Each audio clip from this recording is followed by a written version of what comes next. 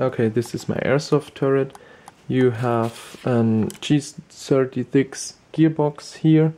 Um, the 6mm BBs have about 0.5 joule kinetic energy.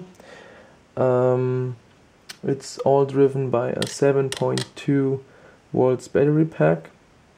This container up here can hold up to 600 BBs. And this is the um, self-reversing disc which makes the turret aim left and right. I will put a link in the description or in the video to this self-reversing platform. Then we have a cheap movement infrared detector in front of here. It's driven by these batteries. And we have a transistor here. How does it work? So um, uh, this is the this is the mo movement alarm.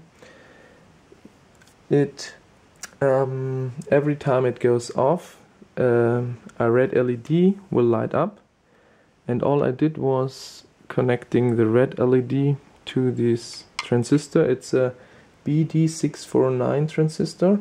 So every time the alarm goes off, it activates the whole system. You can arm it.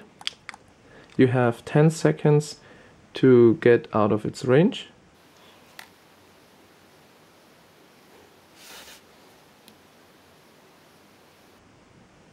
Now it's armed and if I move my hand in front of it, it will go off.